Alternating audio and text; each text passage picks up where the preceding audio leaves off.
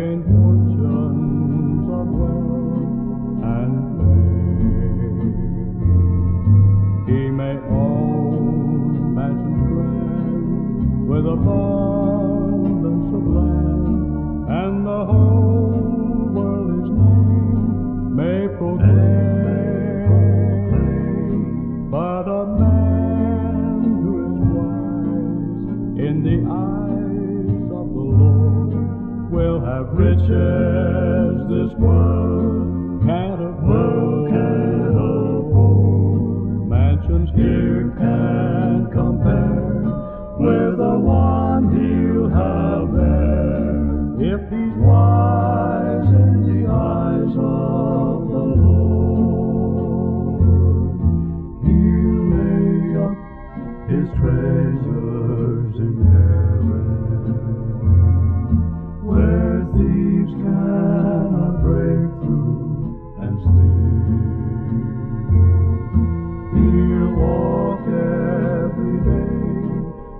straight narrow way, and each to the Lord he'll fulfill.